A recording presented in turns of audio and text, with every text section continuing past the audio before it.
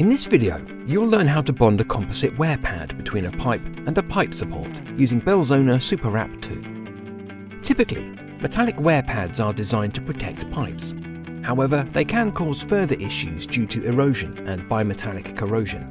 This allows thin and through-wall defects to develop, compromising the asset's integrity and leading to potential shutdown.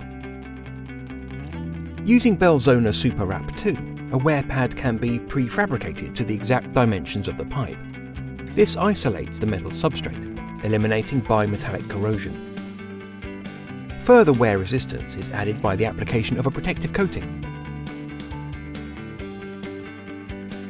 First, use a jack to elevate the pipe above its support pad, allowing enough room to access the underside of the pipe. Before the product application, abrasive blast the surface of the pipe where you wish to bond the composite pad.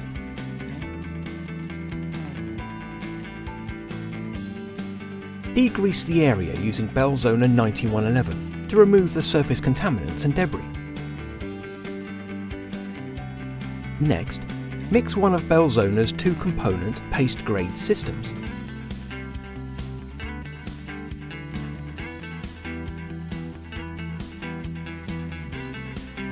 until it's free of any streaks.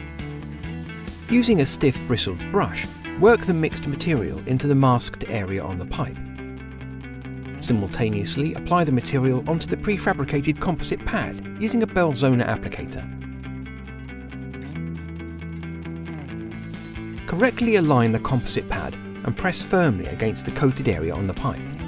Carefully lower the pipe until all its weight is resting on the pipe support. This ensures compression of the composite pad and 100% contact is achieved. Neaten the application by wiping away any excess that had exuded from the sides.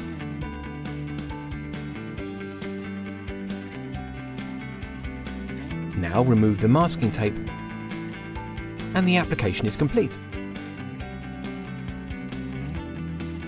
Visit belzona.com slash superwrap for more information.